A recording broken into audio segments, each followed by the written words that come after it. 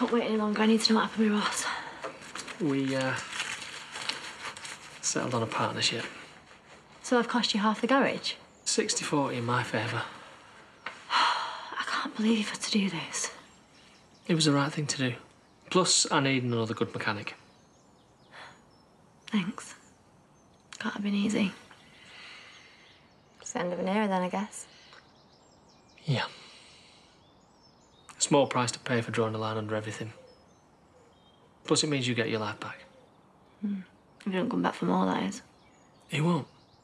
Look, Ross got a share because he was right. We owed him. You mean I owed him? Well, we both did. You need to focus on your two kids now. It's over.